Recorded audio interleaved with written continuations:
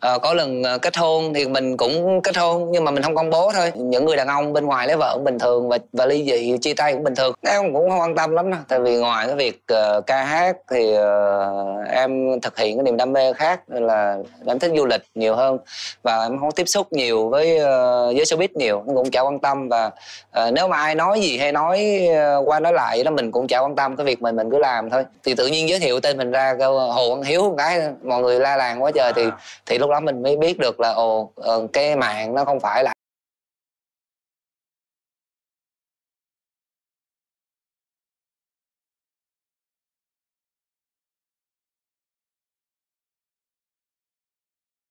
vị, chúng ta lại gặp nhau trong không gian rất thân thuộc của chuyện của sao. Và thưa quý vị ngày hôm nay là một nhân vật hết sức thú vị đến với chuyện của sao. Minh đức tin là đây là một cái tên rất quen thuộc với mọi người.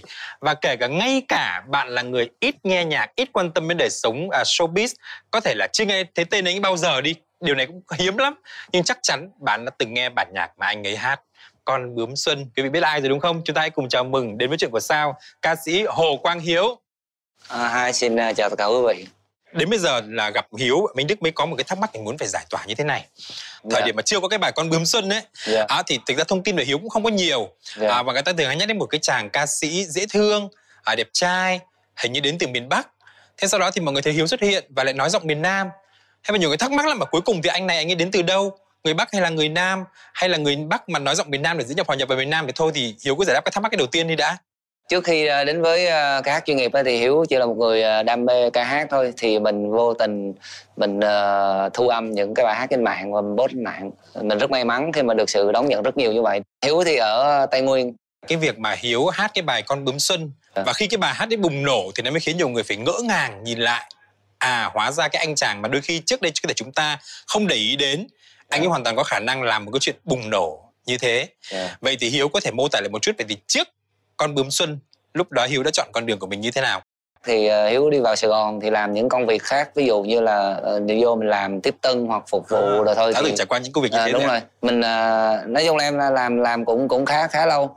Thì vào Sài Gòn làm có khoảng 5 năm đi làm xong rồi mình thấy là yêu thích ca hát á thì mình đi sinh hoạt ở những cái câu lạc bộ xong rồi mình à, lấy những cái bài hát về mình thu âm mình post lên mạng trước khi mà có bài Công Xuân á, thì Hiếu cũng có những cái bài hát mà mà khán giả cũng biết rồi nhưng mà đa số là online trên mạng thôi. Ví dụ như là ca khúc chuyện em hạnh phúc nè rồi không cảm xúc nè.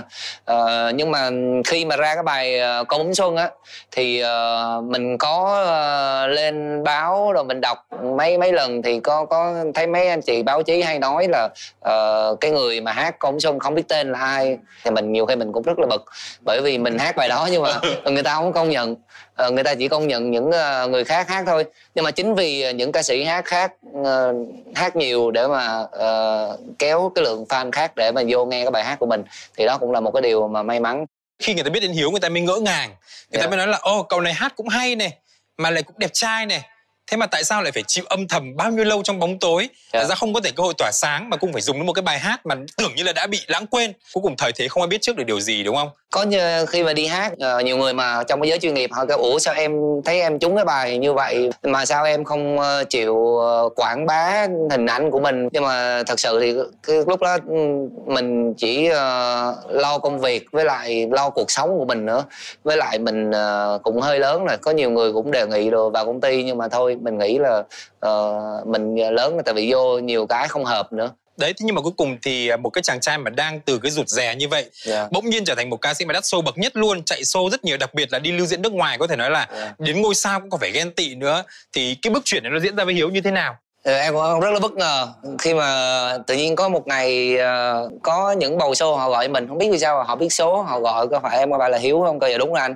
Ờ, em có thể hát ở cà mau cho anh được không thì ờ, mình ờ, không biết nói sao cơ dạ được thì ờ, họ mới bảo là cái ngày đó thì em hát thì em lấy bao nhiêu tiền. Thì mình cũng không biết là cách xe của mình lấy như nào mà mình cứ nghĩ trong đầu là không biết mình ra ngoài thì không biết ai biết mình hay không. Thì đờ, lần đó là tự nhiên là trong ngày hôm đó tự nhiên có hai show một show là gọi từ cà mau là xong rồi có một show ở móng cái. Móng cái là kia luôn. Ờ, đúng rồi tự nhiên hai người gọi thì mình nó bất ngờ thôi kêu mình cứ đi thử đi.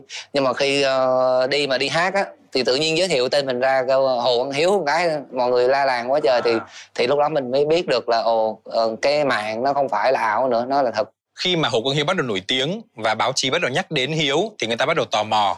Có một tờ báo đăng Hiếu là à, có thể kiếm bằng được 10 tỷ trong cái khoảng từ lúc mà bắt đầu nổi tiếng đến cái thời điểm đó thì người ta thấy bảo ủa trong vòng có một hai năm mà kiếm 10 tỷ chắc là có bà đại gia nào cho chứ làm sao mà có thể kiếm tiền dễ như thế hiếu à, đối mặt với những cái điều đấy như thế nào cái cách xe cũng là một cái phần tế nhị của nghệ sĩ thì uh, em nghĩ là cái uh, may mắn đến với mình thì uh, uh, mình được sống với cái đam mê ca hát của mình và được sự khán giả yêu mến. Uh, đó là một cái điều rất là quan trọng và mình có được cái uh, nguồn kinh tế để mình thực hiện cái niềm mơ ước của mình. Đó là một cái điều điều ao ước rồi. Nên mình không không có có mơ ước nhiều lắm. Ở Việt Nam thì mặc dù là cái thị trường ca nhạc nó nhỏ thôi thế yeah. nhưng mà đôi khi mình vẫn nhận thấy nó có một cái sự phân biệt ngầm giữa yeah. những người trong giới với nhau yeah. như phân biệt như là ca sĩ hạng A hạng B hay là yeah. ca sĩ mà ở thị trường thành phố hay là thị trường yeah. tỉnh chẳng hạn yeah. thành ra những cái người mà nổi tiếng bất ngờ như Hiếu ấy thì anh cũng không biết là cuối cùng thì Hiếu có gặp phải những cái sự phân biệt đấy với những người trong giới hay không khi mà có cái tin lộ ra là Hiếu là người yêu của một trong những mỹ nữ nổi tiếng của showbiz là ca sĩ Bảo Anh chẳng hạn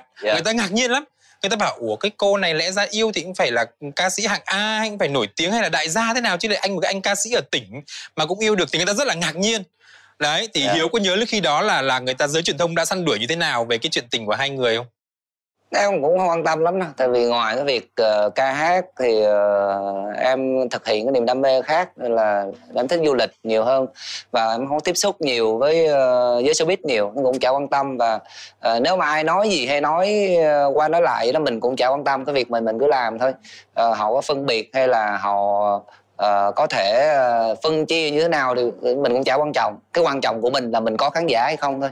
Vậy thì khi mà đối mặt với cái thế giới của những người nổi tiếng, dù gì thì Hiếu vẫn xuất hiện trong công chúng trong một cái hình ảnh giống như là một anh hot boy, yeah. Dạ. à, có thể là người trong mộng của rất nhiều các cô gái chẳng hạn, các fan nữ chẳng hạn. Thế thì lúc đó thì mình không còn sống cuộc sống của riêng mình nữa.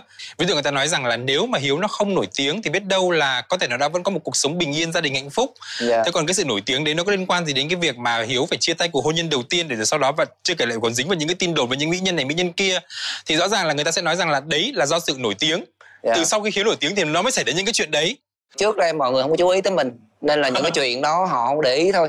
Chứ em nghĩ là những cái chuyện uh, chuyện em ví dụ như uh, lấy vợ đi thì cái chuyện những người đàn ông bên ngoài lấy vợ cũng bình thường và và ly dị chia tay cũng bình thường không hợp với nhau thì chia tay cũng bình thường thôi. Hoặc là tiếp theo sau đó mình yêu một cô gái nào đó thì cũng là một cái chuyện bình thường hẹn hò cũng là một chuyện bình thường. Uh, có lần kết hôn thì mình cũng kết hôn nhưng mà mình không công bố thôi. Có thể lúc đó công bố thì mọi người cũng chả biết đến giờ thì có thể hiếu đã tìm thấy cái sự thăng bằng bình thường rồi đúng không tức là đã sống với danh tiếng một cách bình thường rồi đúng không cũng không bị gì cả À, xin cảm ơn Hồ Quang Hiếu rất là nhiều đã đến và chia sẻ những câu chuyện của mình cùng với chuyện của Sao. Chúc Hiếu có thêm thật nhiều thành công. Minh Đức và ca sĩ Hồ Quang Hiếu xin được chào tạm biệt và hẹn gặp lại.